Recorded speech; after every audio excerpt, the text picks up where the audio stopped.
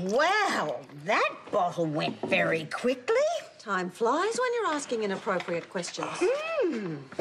She's ruining our night with Beverly. I'm going to lose my spot at the symposium. Yeah, okay, okay. Just relax. I'll get rid of it. Thank you.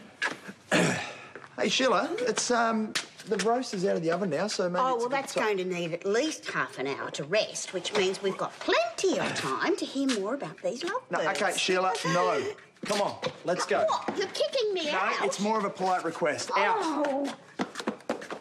You are a terrible friend and an even worse spy. If you'd stuck to our agreement, I wouldn't have had to come over and do the dirty work myself. Excuse me?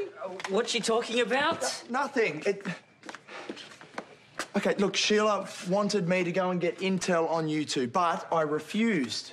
That is not how I remember it. I should have expected this of you. And what's that supposed to mean? From what I've seen, your behaviour's incredibly childish, quite rare in someone your age, and quite frankly, a little pathetic. Oh, well, I think you're nothing but a shriveled up old mungbean who preys on poor men who are just out of a relationship. All right, Sheila, you need to leave. I'm so sorry. This is all my fault. No, it isn't. It's my fault for getting involved with her in the first place. Oh, Clive. I don't want to hear another word. I am taking you home. We are going now.